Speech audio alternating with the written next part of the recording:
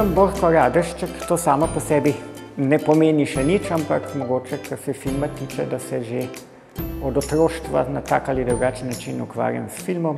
V šoli kot pedagog že kar 40 let na Janezu Levcu.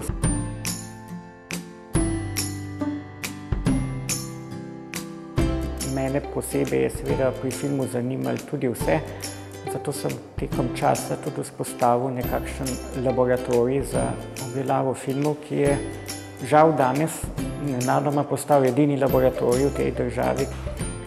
In seveda zato se mi je zdelo to povabilo na to delavnico tega specifične oblike animiranega filma, torej animiranega filma direktno na filmskem traku, pomembno.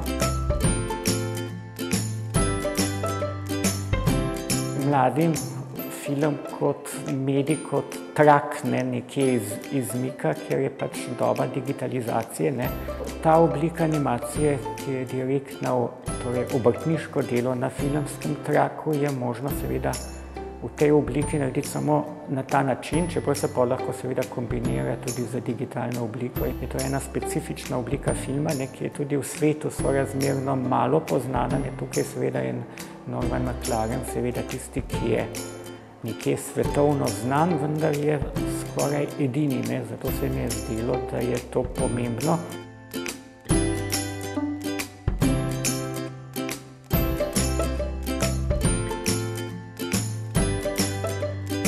Pač film obdelujejo na obrtniški način, brez kamere, ne? torej na film lahko mi vplivamo za svetlobo, ne? tukaj pač ni temnice, da tukaj smo to samo teoretično obdelali, drugače pa kemično obdelujejo z eh, razvijalcem in fiksirjem, potem eh, rišajo na film, praskajo na film.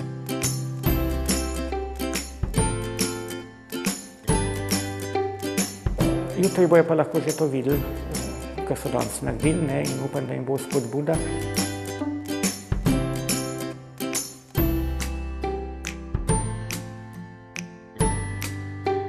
V umetnosti se nova tehnologija ne uniči stare. Ne.